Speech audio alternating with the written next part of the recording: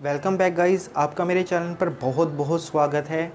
जैसा कि पता लगा है कि रेंडिडिन के अंदर आ, कैंसर होने वाला तत्व एन डी एम ए मिला है। तब से लोग काफ़ी कंफ्यूज्ड हैं कि अब रेंडिडिन के अलावा मतलब रेंडिडिन का एक अच्छा बेस्ट अल्टरनेटिव ऑप्शन कौन सा हो सकता है? यही क्वेश्चन गाइस मुझे यूट्यूब पर नहीं बल्कि मेरे रिलेटिव्स मेरे नॉन और यहाँ तक कि जो मेरे पेशेंट्स हैं उन्होंने मुझसे यही पूछा है। और ऑनेस्टली जो मैंने आंसर उन्हें दिया है, वही आंसर मैं आपको भी दूँगा इसी वीडियो में। और गाइज़ मैं श्योरली कह सकता हूँ कि इस वीडियो को देखने के बाद आपके मन में जितने भी डाउट्स होंगे, वो पूरी तरह से क्लियर हो जाएँगे। तो गाइज़ एसिडिटी को कंट्रोल करने के लिए दो तरह की मेडिसिन होती है मतलब दो तरह के ग्रुप्स होते हैं। पहला होता है हिस्टामाइन रिसेप्टर एंटागनिस्ट जिसे एच टू ब्लोकर्स भी बोलते हैं। इस ग्रुप की मेडिसिन में रेनिटिडीन फिमोटिडीन सीमेथिडीन निजाटिडीन जैसी दवाइयाँ आती है। तो गाइज़ ये चार तरह चार तरह की दवाइयाँ इसी ग्रुप में आती हैं। तो गाइज़ जब भी हम खाना खाते हैं, तब जो हमारा स्टमक है, वो एस सी एल प्रोड्यूस करता है मतलब सीक्रेट करता है, जिससे हमारा खाना पचता है। तो जो ये हिस्टामाइन रिसेप्टर एंटागनिस्ट हैं, इन्हें शॉर्ट टर्म में एस टू ब्लोकर भी बोलते हैं। तो गाइज़ जब भी हम खाना खाते हैं खाना खाने के बाद हमारा जो स्टमक है, वो एचसीएल प्रोड्यूस करता है। तो जो प्रोड्यूस करने का जो प्रोसीजर है, उसे स्टोमुलेट करता है हिस्टामाइन तो जो एच टू ब्लोकर है, वो हिस्टामाइन को ब्लॉक कर देते हैं, जिससे एचसीएल बनता ही नहीं है।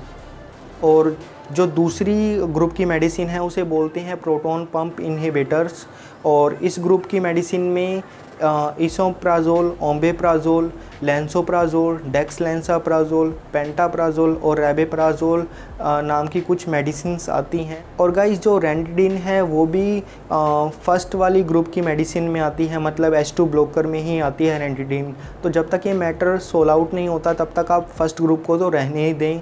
और जो दूसरा ग्रुप है हमारा प्रोटोन प्रोटोन पंप इनहिबिटर का, उसके बारे में हम आगे बात करते हैं। तो गाइज़ इसमें तीन मेडिसिन हैं, जो वर्ल्ड फ़ेमस हैं, आप उनको कहीं भी पूरी दुनिया में कहीं पर भी आप उसका यूज़ कर सकते हैं। तो पहला है पेंटापराजोल दूसरा है रेबेपराजोल और तीसरा है ओम्बेप्राजोल तो इनका आप यूज़ कर सकते हैं। तो पहला है न्यू पेंटा 40 एम जिसे मैकलोड कंपनी बनाती है और इसके अंदर कॉम्पोजिशन मिलता है आपको पेंटा पेंटापराजोल और दूसरा है रेबिटॉप जिसके अंदर आपको रेबिपराजोल कॉम्पोजिशन मिलता है और इसे एरिस्टो कंपनी बनाती है। और तीसरा है गाइज़ ओसिड ट्वेंटी एम के कैप्सूल्स हैं ये, और इसे कैडिला बनाती है, और इसकी कॉस्ट फिफ्टी टू रुपीज़ है पंद्रह कैप्सूल्स की।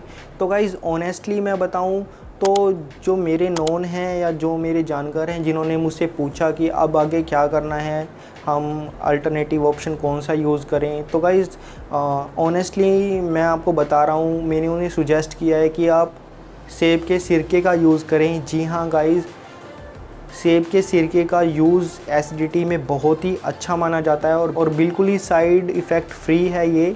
तो आप इसका यूज़ कर सकते हैं। और हाँ काफ़ी लोग ऐसे भी थे जिन्होंने मुझसे बोला कि हम तो काफ़ी टाइम से मतलब पंद्रह साल से रेंडिडिन का यूज़ कर रहे हैं तो एकदम से कैसे इसे बंद कर सकते हैं? कोई अल्टरनेटिव ऑप्शन बताएँ? तो ऑनेस्टली बताऊँ गाइज़ तो आप ओसीड का यूज़ कर सकते हैं, जिसका असर काफ़ी अच्छा है। इंक्लूडिंग मेरे को, मुझे भी जब एसिडिटी होती है, तब मैं भी ओसीड का ही यूज़ करता हूँ। और गाइस जो इन्फॉर्मेशन मैंने आपको दी है, वो सिर्फ़ इन्फॉर्मेशन के लिए ही है। मैं आपको बिल्कुल नहीं कह रहा कि आप इन मेडिकेशन का यूज़ करें। जो भी मैंने आपको बताई है, आप अपने डॉक्टर से कंसल्ट करें और जो वो बोलते हैं, आप उन्हीं को यूज़ करें। ओके गाइज़ तो आशा करता हूँ कि जो मैंने आपको जानकारी दी है वो आपके लिए यूज़फुल होगी। तो गाइज़ ऐसे ही यूज़फुल वीडियोस देखने के लिए आप मेरे चैनल को सब्सक्राइब कर लें और बेल आइकन को भी प्रेस कर लेना ताकि जब भी कोई मैं नई वीडियो अपने चैनल पर अपलोड करूँ, उसकी नोटिफिकेशन आपको सबसे पहले मिले।